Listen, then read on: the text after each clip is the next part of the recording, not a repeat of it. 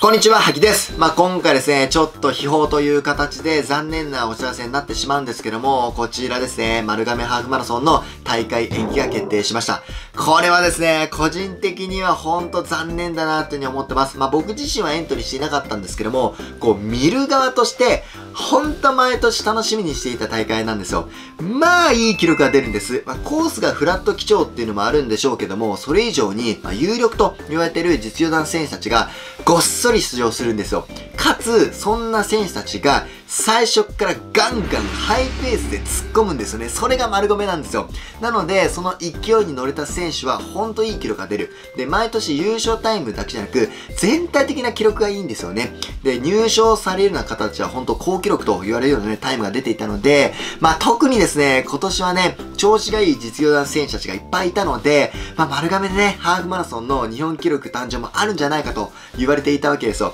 まあ日本人初めての60分切りもあるんじゃないかと言われていたこの丸亀がね、まあなくなってしまうのはね、ちょっと見る側ね、ファンとしてはね、ちょっと残念だなというふうに思います。で、僕たち市民ランナー側からしても、こう、ハーフマラソンの公認大会って、まあ少ないのと、こう、フラット気象でね、コースが出、あの、記録が出やすいと言われているハーフの公認大会って、まあ珍しいんですよね。なので、そういった面でもね、僕たちにとってもちょっと残念だなと。まあ3月に東京マラソンね、まあ控えていて、ちょうど1ヶ月前に、まあ丸亀でハーフマラソンで、まあ PB 更新して、まあ3月のフルマラソンにつなげるというふうに思ってるのは結構僕の周りにもやっぱ多かったので、まあそれがね、丸亀が延期になってしまうと、スケジュールをね、こう一から見直していかなきゃいけないと、練習もね、見直していかなきゃいけないという風になってきてしまいますんで、ここからね、スケジュール調整がね、大変になってくるんじゃないかなという風に思います。で、具体的にちょっとね、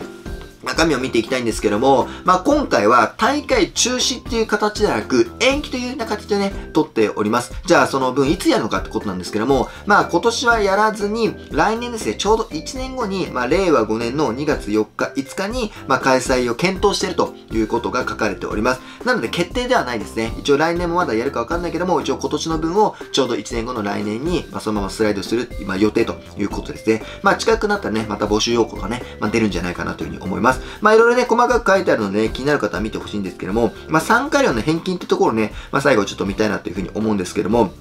今回の返金方法については、まあ、参加料の返金については、クオカードをね、まあ、予定しているということですね。まあ、ナンバーカードは発送せず、まあ、参加賞、T シャツとプログラムは送付予定ということになっております。まあ、今回もですね、まあ、愛媛マラソンが中止になった時点で、丸亀もちょっと厳しそうだなって意見がね、こちらほらと流れていたので、まあ、その通りになってしまったということなんですけども、まあ、気になるのはね、僕個人的に気になるのは、別府大分毎日マラソンですね。別材がどうなるのかということですね。僕はそっちの方にエントリーしてます。まあ、丸亀と別材がね、同日改正だったので、まあ、どっちかを選ばなきゃいけないというランナーが多くて、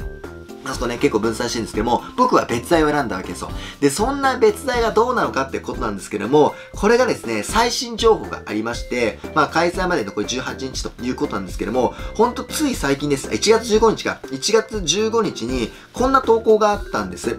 ピックスっていうところで、ニュースところで、出場選手の皆様へアップします。修正版、ビビっていう風に書かれていて、これが流れてきた時、俺どっちなのかなって思ってドキドキしたんです。もしかしたらら開催が難しいっていうアナウンスなのか、どうなのか、新しい情報が入ってきたと思って中身を見たところですね、まあこれをね、見ていただければわかる通りなんですが、まあこれね、見た感じの捉え方でちょっと変わるんですけども、僕の感覚で言うと、やるんじゃないかなっていうふうに思います。今は開催する方向で、まあ、全力で準備を進めてるということなので、運営側は全力を尽くし開催する方針で、まあ、これから進めていくということで進んでいるので、現段階ではやる方向だということなので、まあ、参加予定の選手たちは、まあ、練習も含めてね、準備を整えてくださいということが書かれております。まだね、ただ1ヶ月、3週間ぐらいかあるので、ここからね、どういう風に状況が変わってくるかわからないんですけども、まあ、このタイミングですね、2、3週間前で運営側もも、えっと、やりたいっていう思いが、こう、発表されているので、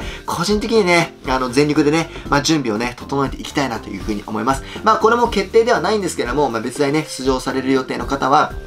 今のところね、やる方向で進んでますんでね、まあ体調面もそうですし、まあトレーニング面もね、あの、整えてほしいなというふうに思います。で、細かく見ると、別大出場者の方にね、体調管理シートとかね、細かいところをね、いろいろちゃんとやってくださいね、と書いてますんでね、参加する方はね、それはね、しっかりね、守ってね、やってほしいなというふうに思います。まあ残りわずかでね、僕自身ももう別大までね、あとわずかっていうところなんですけども、まあ今ある力ね、100出したいなと思うので、あとはね、体調管理ですね。まあここから焦ってね、ガンガントレーニングをやったとしてもね、別大に直結するかっていうところが難しいところなんで、まあとにかくピーキングを合わすことですね。まあ足の状態がそこまで良くないので、まあできるだけそれを軽減するということと、まあ風邪をひかないということをね、まあ体調面をね、管理していきたいなというふうに思いますんで、またね、新しい情報があればお届けしていきたいと思いますんで、まあとにかくね、丸亀ハーフマラソンはちょっと大会延期という形な形なんですけども、まあ別大はね、やるんじゃないかというふうに思ってますんでね、僕もね、全力で頑張っていきたいなというふうに思います。